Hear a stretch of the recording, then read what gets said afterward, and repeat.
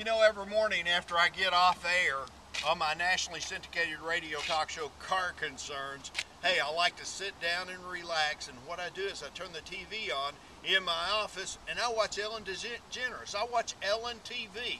Hey, Ellen, this is to you. I'm on a crusade to help all our military personnel when they go to the dealership to be better prepared, better educated.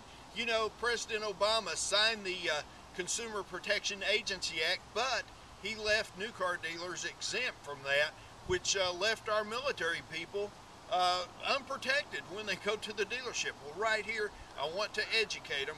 If I could go to a military base every single day of the week and talk to our people and tell them exactly what goes on at the dealership, I would, but right here it is in a CD, Ellen. I produced this CD in 2006 I've sold thousands and thousands on my radio talk show. And of course, you can buy it at carconcerns.com. But Ellen, I want you to help me get this into the hands of every military person out there.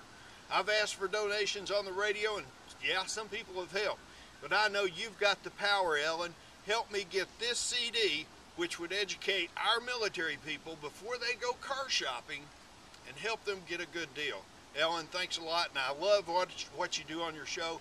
You're always helping people, and I, well, you just relax me. After the show, I click on the TV, I watch your show, and it relaxes me for the rest of the day. Ellen, you're like a Valium. I'm Harry Douglas, Car Concerns Radio. When your money's on the line, call the line that's on the money. That's Car Concerns. Pick up the phone. I'm there 9 to 11 every single morning, 9 to 11 Eastern Standard Time. 1 454 3378 1 454 3378 Ellen, let's get this CD into the hands of every soldier out there.